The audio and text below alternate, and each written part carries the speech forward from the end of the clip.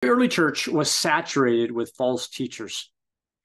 To gain a hearing, they came up with clever stories that would appeal to their listeners.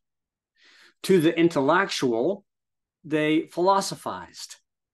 To those who were more of the emotional bent, they told stories that would grab the heart. To the spiritually naive and immature, well, anything worked with them. You see, false teachers always skip a significant doctrine or, or two, but they could sure draw a crowd.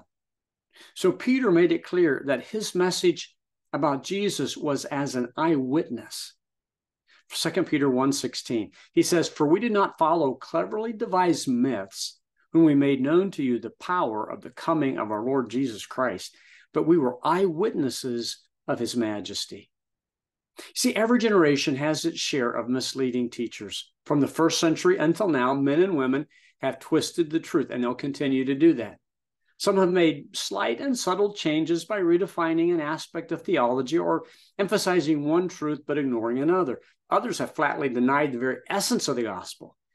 Each group attracts gullible, immature, or rebellious followers. For this reason, we must know what we believe and why we believe it. We must understand the essential elements of the faith. We have to develop a theological grid through which we can evaluate the plethora of books and blogs and media and YouTube teaching that bombard us from every direction. So keep your feet planted in Scripture. There you're going to find truth from those like Peter who were eyewitnesses of his majesty. By the way, we have a great resource we would love for you to partake in. It, it, it's called Living Grounded. You can get it on Amazon. Just go to Amazon and you can order Living Grounded. The, the, the purpose of Living Grounded is to help you get grounded in your faith. We need to be those who have our feet planted and grounded in Scripture. Father, protect us from errant doctrines, but help us first, Father, gain true theology so we can spot what, what is wrong.